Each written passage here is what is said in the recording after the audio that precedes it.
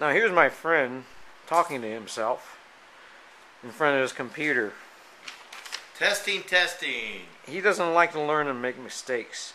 I'm practicing. But I'm telling him to make a shitload of mistakes. Excuse your Japanese or no Chinese? Yeah, you excuse my Chinese, but I want him to make a shitload. Yeah, I tell him to make a shitload of mistakes, like 10,000 of Pardon them. me. Make 10,000 mistakes. Me if I'm sentimental as the teardrops fall. Now he wants to be a rock star. No, it's country and western, buddy.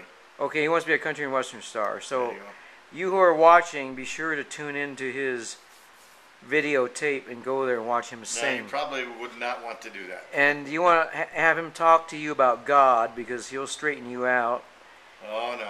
in the ways that I just Uh, want you to know that God's a real person and He loves you. That's all. that's right. Because That's you know that God has to be a real person. That He loves me and loves this guy on on YouTube right now, you know there has to be a God that loves two ugly men like us. Well, we're really not really ugly. This guy you're seeing over here looks really sophisticated and serious. You notice how mature he is with a white beard and and how much wisdom he has right now. And I'll tell you what, if you need to buy real estate, he's the man to look to. You need to sell real estate, he's also the man to look to. Because he is honest you, as a day is long. Appreciate He that. is as honest as a day is But long. not perfect, okay? Just Oh, he's case you- totally imperfect. His toenails stink. His Excuse armpits me? really stink. All and right. uh, but anyways, you know, he sounds like a farmer, but he's really a top-notch individual. So, anyways, I'm gonna hope that he'll make about ten thousand mistakes here. Let's watch his fingers here. Let's see what his fingers are doing. Is he making mistakes in his fingers?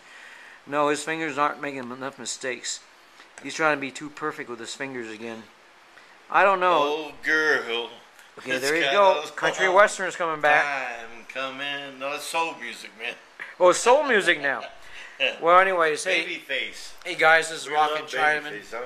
Well, I don't know about Babyface. Uh, he looks too smooth to me. But listen, have a great day. Thank you, Jay, for being in my video.